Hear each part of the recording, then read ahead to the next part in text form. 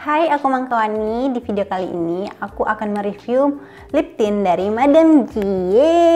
Kalau kamu penasaran, keep on watching ya. Jadi kita bahas dulu tentang packagingnya. Jadi packagingnya itu ada dua macam. Ada yang dalam bentuk satu pack seperti ini. Terus kita juga bisa beli satuan seperti ini. Tuh untuk aplikatornya seperti ini. Ini memudahkan kita untuk mengaplikasikan produk ke sudut-sudut bibir kita. Untuk harganya, kalau kita beli satuan bisa didapat dengan harga 18 sampai 20 ribu. Sedangkan untuk beli um, lip tint ini dalam bentuk paket, harganya itu bisa dari harga 100 sampai 105 ribu. Tergantung kamu beli di mana. Untuk teksturnya sendiri, dia mengarah ke arah gel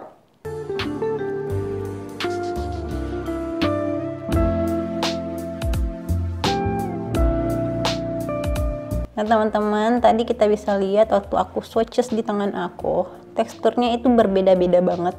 Yang pertama tadi tuh super duper kental, terus ikut kedua ini dia lebih cair, terus di sini kental lagi, terus di sini cair lagi. Jadi konsistensinya itu baru-berubah.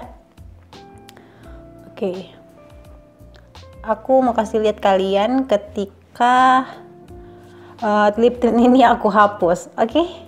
Jadi aku mau hapus dulu ini pakai kapas tanpa dikasih apa-apa. Kita lihat ya.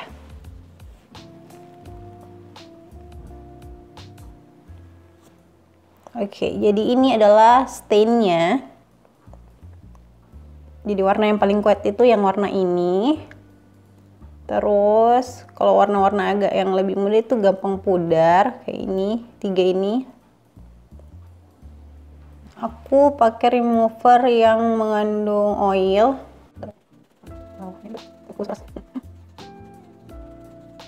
Oke. Empat warna pertama itu masih ada sedangkan tiga terakhir itu udah pudar. Oke kita ya sekarang kita coba di bibir ya. Kan kulit bibir sama kulit tangan itu berbeda jadi kita coba dulu Nah untuk keadilan bersama aku akan pakai concealer di seluruh bibir aku. Terus aku akan mulai dari warna yang paling muda. Ini udah 05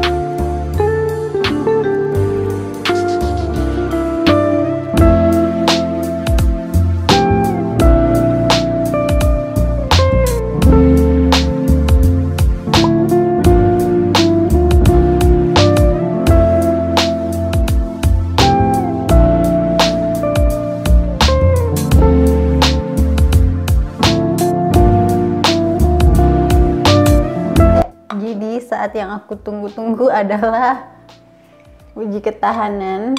Kali ini pakai perkedel kentang sama roti sama air minum sebentar. Kita coba aja ya.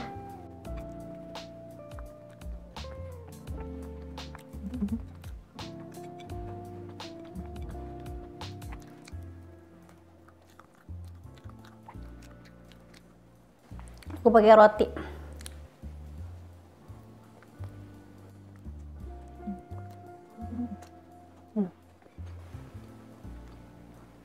Ada. Bisa terus di sini juga ada.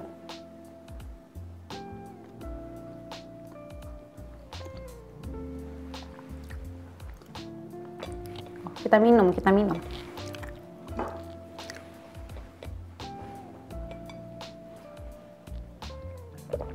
Terus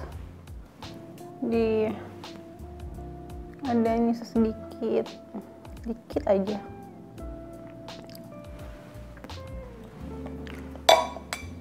Aku mau kasih habis rotiku dulu. Oke terus aku akan balik. Jadi aku tadi udah minum makan makan perkedel makan roti. Gini hasilnya. Itu agak sedikit banget memudar di bagian bibir dalam tapi nggak apa-apa karena ini masih oke okay banget warnanya sih. Ya kan? Cuman yang aku rasain dia bikin kering banget. Nggak kering banget juga sih. Pokoknya bikin kering. Sedikit bikin kering. Tapi dari harganya yang 20 ribuan ini wow banget sih menurut aku. Jadi untuk kesimpulannya lip tint ini harus dicoba karena pertama dia murah banget kedua itu tahan lama. Jadi menurut aku sih bagus banget untuk harga begitu 20.000 dan ini gampang banget dicari di toko-toko kosmetik dekat rumah kamu dan warna kesukaan aku itu tiga ini yang 03 yang 06 ungu ini sama si 06 in, 6 ini yang orange. Aku nggak tahu penomoran mereka itu gimana karena ada beberapa nomor yang double. Terus um, tapi kalau dipilih satu aja aku akan memilih si warna orange ini. Karena si warna orange ini bikin kulit aku lebih kelihatan lebih cerah itu aja. Hmm, apalagi ya? Cuman yang aku kurang suka itu bikin sedikit kering tapi nggak apa-apa. Ini kalau ditimpa sama lip, lip balm bagus banget. Jadi inilah video review aku tentang Madame G lip tintnya. Uh, terima kasih banget udah menonton. Aku harap kamu yang lagi nonton video ini uh, sehat-sehat terus. Uh, dan kata terakhir adalah bye bye yeah. I've been feeling so, I've been feeling so down, yeah. Can you tell me why? Can you tell me why I'm down, yeah? No friends of mine, no friends of mine around, yeah. Now I'm thinking, now, now I'm thinking, now.